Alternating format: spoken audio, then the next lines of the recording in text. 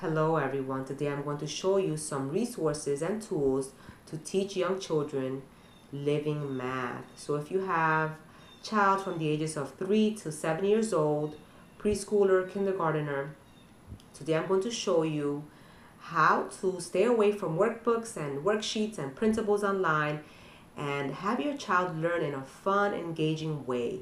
When children are from the ages of 3 to 7, they lack abstract thinking. So if you are just providing worksheets and workbooks and sit down work at such early ages, they may fail to understand basic math concepts.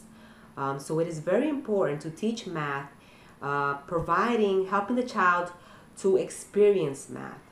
So let me go ahead and show you some of the resources that I have here.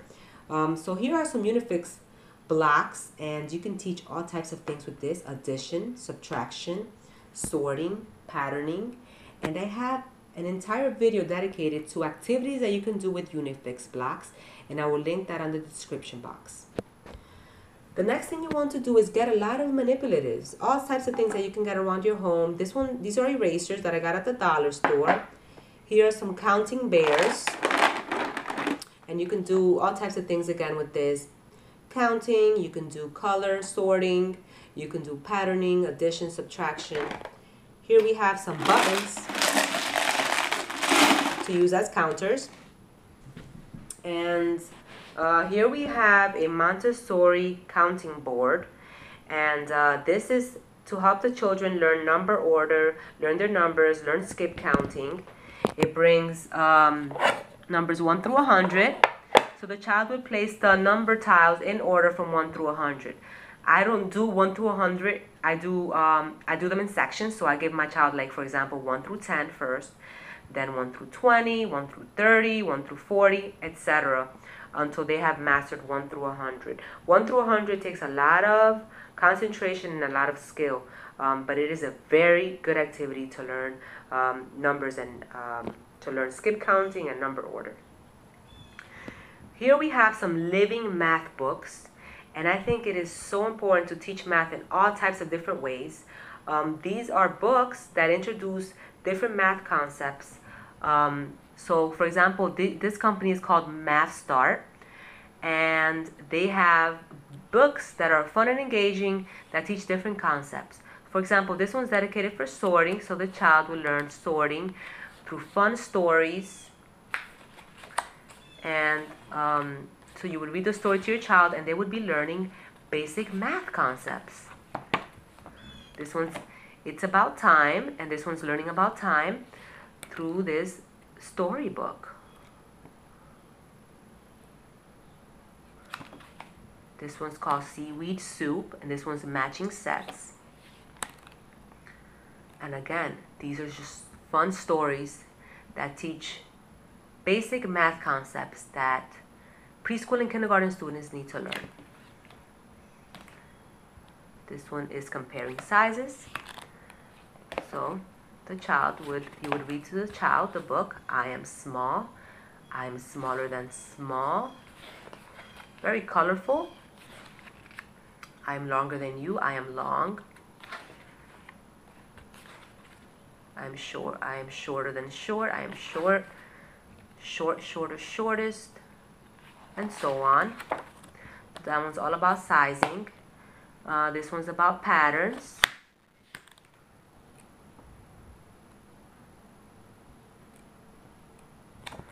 This one's about uh, counting by fives and tens.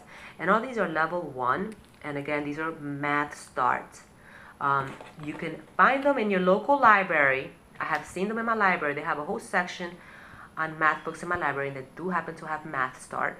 Um, but I actually happened to buy these in Amazon. I found a good deal of someone who was selling a whole pack of uh, Math Start books. And you can check on eBay. Um, you can also check Amazon.com for these books. Here's another author, Jerry Pallotta. He's really good as well. And this, he, this, this is also sponsored by Scholastic. And um, they teach fun concepts. They teach math in fun ways. Um, these books are really colorful. This one teaches about weights and measures. This one's about shapes and patterns. So these are living math books. So it's like you're reading a story to the child as they learn math.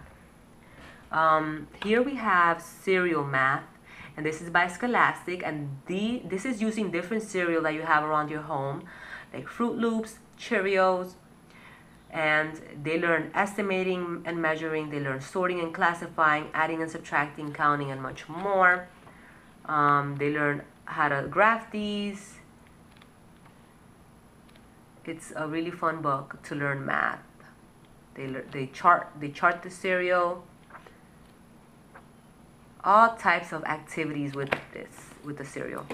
Um, these are one of these are two of our favorites. This is by Barbara McGrath, and this is the M and M's counting book. So this is a living math book. Again, they use M and M's to do all types of activities where the child lines up the M and M's, counts, learns colors, number, quantity, learns addition, all types of things. Here's the Cheerios counting book, and it's very similar except that it uses Cheerios. And again, it's the same concept. Um, the child is learning all types of things with the Cheerios. Um, and it really brings math alive for the child when you bring in manipulatives and things that they love to eat. Um, so it's a really fun way of learning math. Here I want to share with you um, some math uh, laminates.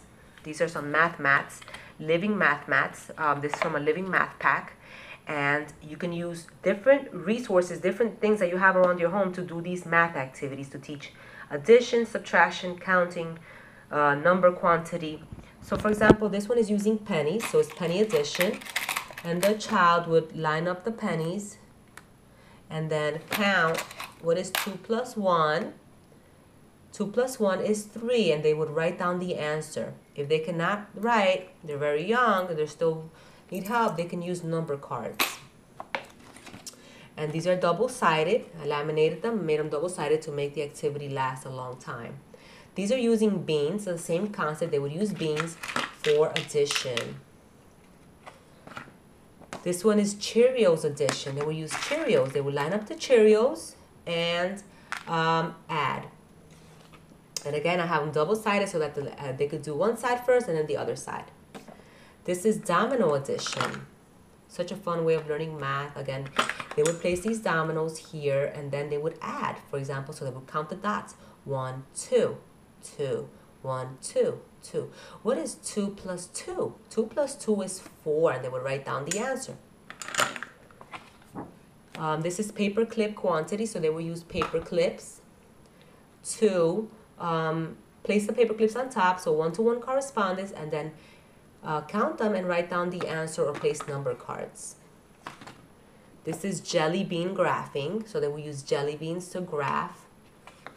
Um, this is using Hershey Kisses, and they would place the Hershey Kisses on top and then count and write down the answer or put a number card down. And these mats bring the number cards, which I love. Bean addition, this is subtraction and addition. So you can use any manipulatives you have, for example, you roll a die and you can use any manipulatives and uh, like 1 plus 1. What is 1 plus 1? 1 plus 1 is 2, etc. Another M, this is M&M's graphing. This is what comes next. This is patterning with M&Ms. So they will place the M&Ms on top and find out which M&M comes next. Um, so this, I will post a link in the description box where you can get this living math pack. Here we have a, um, a living math curriculum. This is for preschool and kindergarten students. This is called um, the Math-U-See Primer. And I have made a review on this entire curriculum showing you the inside of it. It is wonderful because children learn math with these manipulatives and it's a great way to learn math. Um, so far, my kindergarten student has been loving it. She only does about one worksheet a day and it takes about five minutes to complete the lesson.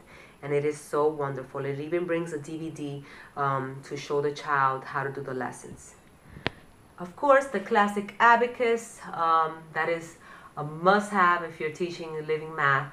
Um, this is good for addition, subtraction, um, number quantity, all types of activities, and um, this one I got in Ikea, but you can also get the Melissa and Doug uh, Abacus on Amazon.com.